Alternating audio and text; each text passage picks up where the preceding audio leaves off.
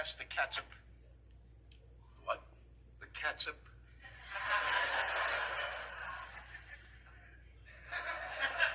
You mean the ketchup?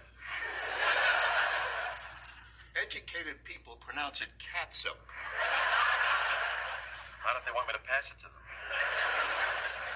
Fine, if that's the way you're gonna be, then I'll do without.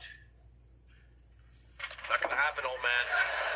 Burger's getting cold. Just give me the ketchup. Mm. Okay, it's called ketchup. Say it right and you can have it. No, Say it. Say it. no, I will never say it. I'd rather die than say it. And she's staying over here.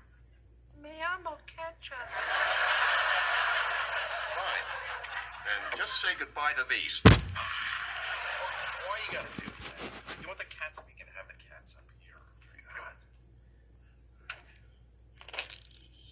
That's enough. That's enough. That's that's enough. That's enough. That's enough. Oh, is that enough? Yes, that's enough. That's yeah. enough. Then say it. Say, say it. Say it. What? Say it. Hey, what? What's it called? Catch up.